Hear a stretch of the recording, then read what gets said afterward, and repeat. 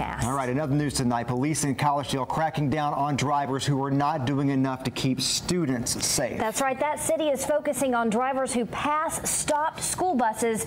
And so far this school year, they're making a difference.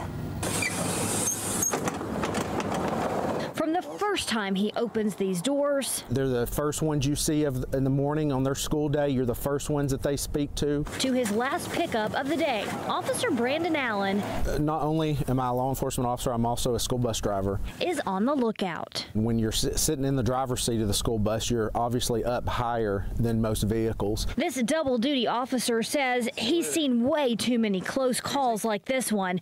Video from Wisconsin shows an SUV passing a school bus, narrowly missing a student crossing in front. Collegedale police say the problem is twofold. the vast majority of the people that we come in contact with um, for passing the school bus, they're not aware that they have to stop. Education and distraction. Whether they're texting, whether they're uh, talking to someone else on the phone, So far this year, 39 drivers in Collegedale have learned that lesson. Too late to avoid a ticket, They turn the flashers on, they put out the stop sign. but just in time to save a life. just be aware, use caution. Every time you see a bright yellow school bus, slow down. You can't predict what the child's going to do. One Tennessee lawmaker from Nashville wants to make passing a school bus a felony. He recently withdrew that bill, but his office says he plans to reintroduce it later this